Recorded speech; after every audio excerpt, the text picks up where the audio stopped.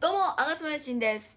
えっとですね、いつだったかな？前回、まあ、結構前なんですけど、あの、まさまさ TV で、えーこの YouTube でね、動画を出してる、まさくんとね、えっと、画力対決をしたんですけど、まあ、一応見てない方はその時の、あの、リンクをね、ちょっと下に貼ってあるんで、ぜひそれを見てから来ていただけると嬉しいんですけども、そのまさくんとね、画力対決をした時に、その動画を見た友達から、なんか、絵が下手くそだねって言われて、ちょっとね、いや、自分でも描けるものあるんじゃないかなと思っていろいろ今日探してみて、えっと今日はね、友達からいくつか、じゃあこれ描いてみてよっていうお題をもらったんで、それに沿って絵を描いていきたいと思います。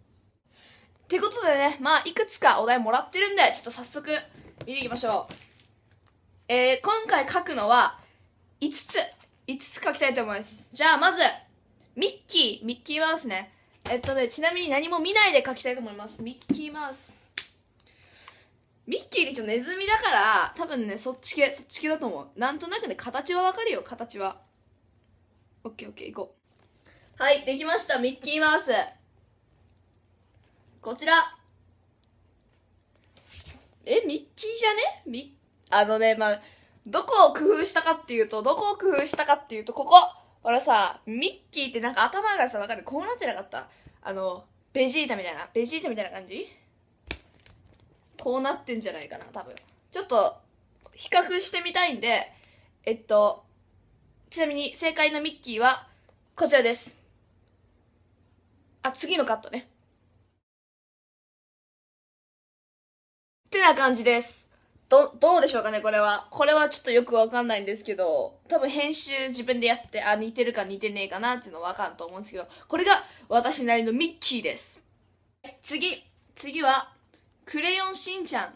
クレヨンしんちゃんはね、一応テレビ見てますから、描けると思いますね。顔がね、ちょっと特徴的な形してるんで、そこだけつかめば、なんとなくはいけると思います。ですけど、形だけできました。はい、こちら。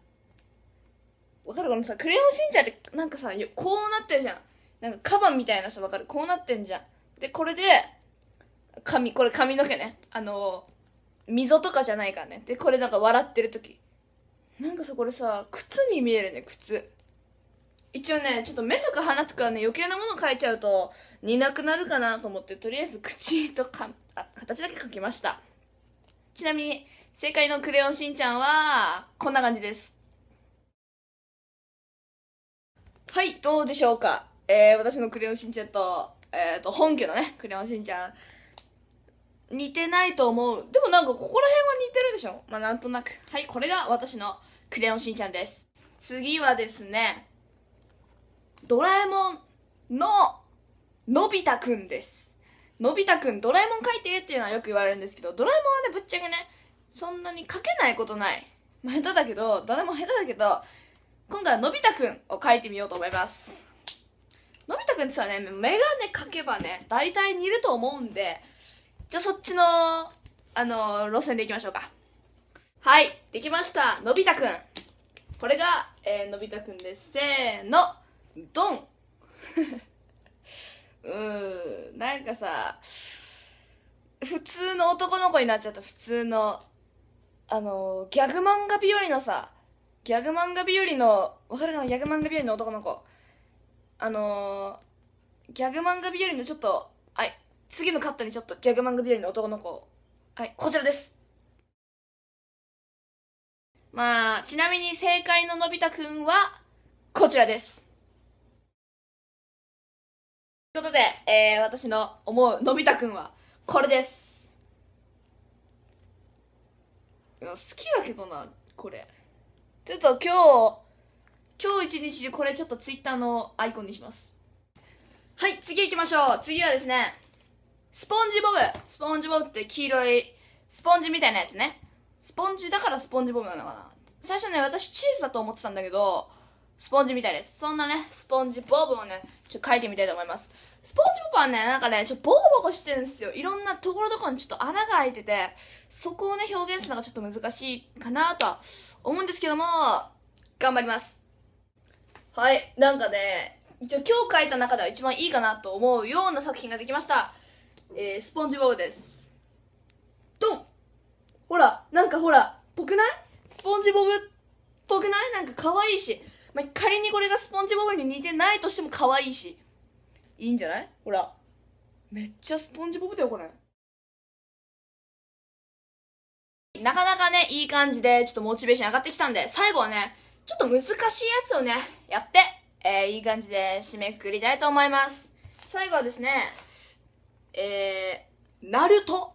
ナルトは皆さんご存知でしょうか？週刊少年ジャンプで今も連載してるのかな？でもね確か最終回したのかな？一応今続編がやってるみたいなんですけど忍者のねテーマにしたアニメにもなってますねのナルトえっとこれは難しいんで最初にちょっとお手本をね、えー、見せておきたいと思いますお手本はね、えー、本当のナルトはこちらです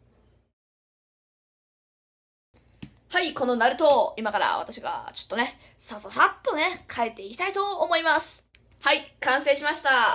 ちょっとね、うん、見せたくないんだけど、行きましょう。えー、これがナルトです。せーの、ドン ここんな、こんな感じです。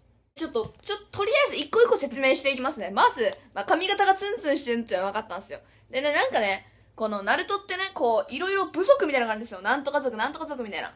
なんとか一族ね、みたいなのがあって、で、ナルトは確かこの、この葉一族っていうのがあって、ほら、こういうマークだったのわかるちょっとこれさ、なんかさ、音楽のさ、なんだろう、トーン記号、トーン記号みたいだったけど、ちょ、こんな感じ、こんな感じだったのちょっと、最初のお手本画像確か見、見たらわかると思うんですけど、一応こんな、こんな感じで、一応ね、これ結んだ、結んで、このタラーって垂れてるイメージですね、これが。で、顔はね、なんかほら、少年漫画の主人公だからちょっと眉毛をね、キリッとさせてみたら、ちょっとなんか、なんか違う感じになっちゃって、で、で、口もなんかちょっと元気そうな少年漫画ですから、元気そうな感じかなと思って笑って、で、なんかね、渦巻きナルトっていうかにはどっかに渦巻きがあるんじゃねえのと思って、で、なんかここにね、ぐるぐるがなんかあった気がするなあった気がするかなみたいな感じです。こ、そし、こんな、うん。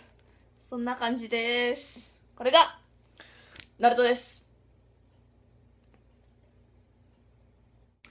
ということで、ちょっと、最後はなんかわけわかんなくなっちゃいましたけど、皆さんどうだったでしょうか？えー、今回書いた5つのうちでどれが良かったかとかね、えー、ぜひなんかコメントとかで書いてくれると嬉しいです。